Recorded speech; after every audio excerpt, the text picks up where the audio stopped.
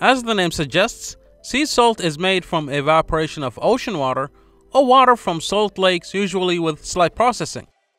Let's explore some of the interesting facts about sea salt and its benefits.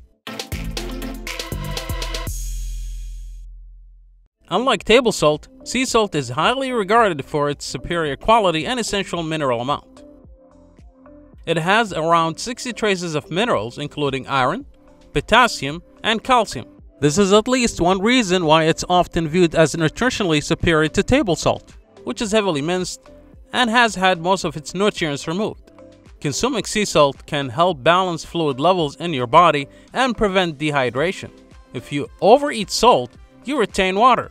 However, if you're not consuming enough salt, you lose water resulting in dehydration.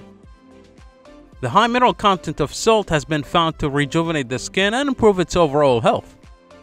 It also helps boost the function of the skin's barrier and reduces inflammation on the skin's surface. A little over 25% of the amount of salt in your body is stored in the bones, where it helps keep them strong. When the body lacks salt and water, it will tend to draw the sodium from the bones, which may eventually cause problems. Sea salt contains electrolytes that aid in the recovery of muscles and help prevent muscle cramps, spasm, and pains. Sea salt is an excellent source of sodium, which is an essential mineral for the nervous system.